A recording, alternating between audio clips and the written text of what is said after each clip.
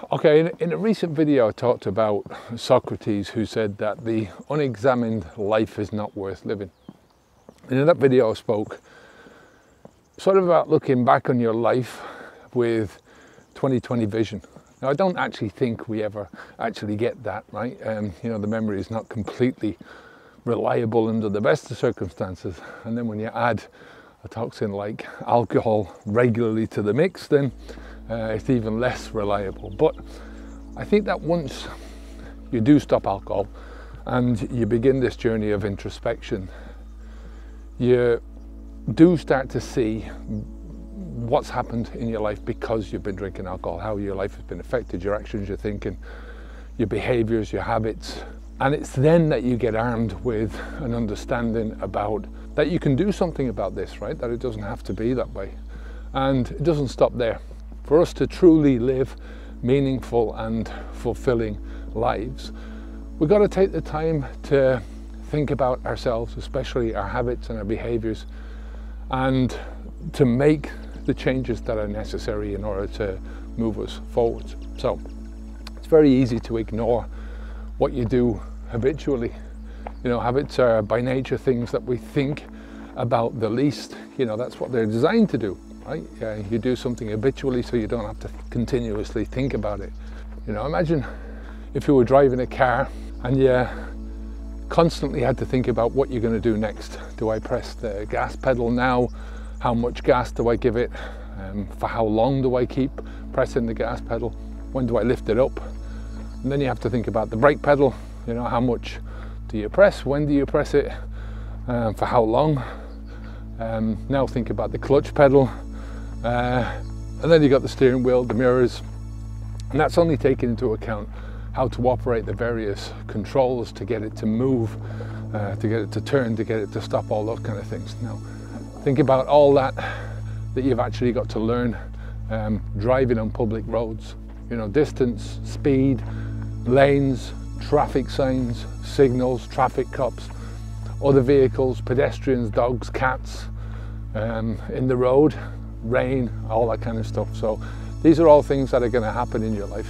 Now, when you're learning how to drive, you know, these are the things that you have to consciously think about, to think about intently. You know, thankfully, once you get used to driving, it sort of becomes second nature to us. And we can have conversations while we're driving. You know, I'll often drift off into something, thinking about something, away on a tangent, um, and I'm brought back into the present by something that needs my attention now. But that's just the way it is, right? You know, the point is we use a natural ability to create habits, to put together patterns that are going to make all of this second nature. You know, when was the last time you were driving and you gave a second thought to pressing the brake pedal, right? Or how much you needed to press on the, the, this, the, the gas pedal or how much you had to turn the steering. It's something that you just do automatically, right? Um, when it's time to slow down, you slow down, right? When it's time to speed up, you do that. Well, this is the same process, similar process that you go through when you're stopping drinking alcohol, right? When you're breaking down the old alcohol habit. So let me change to talking about the future for a second. I think it's important to expand the years in your life, right, to get more years out of your life. But I think it's also important to plan on improving the quality of those years. I think that's just as important. You know, what's the point in living until you're 80 or 90 or beyond, only to have a knackered out old body uh, and a mind that doesn't know its arse from its elbow, right? Now, this is all going to depend to a large extent on uh, the habits that we we form, right? You know, habits are that invisible structure that directs how we live and in turn those habits are going to direct where we're going. You know, there's such powerful things when you think about it. You know, they affect the way we think, our attitudes, even down to your posture, the way that you walk, the way that you eat, the way that you speak. You know, the words that you use are all habitual to a big extent. Now, if you want to change your habits, you first have to examine them to understand what makes them tick so to speak.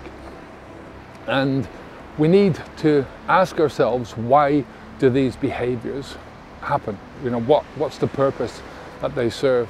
And what are the consequences that happens because of that, especially that last bit? What are the consequences? Now the key to eliminating the alcohol habit is to start small. I'm not talking about cutting back on a drink here or there or uh, I'm not talking about cutting back at all, right? Um, unless it's a medical necessity in the beginning. I'm talking about stopping the alcohol flow altogether.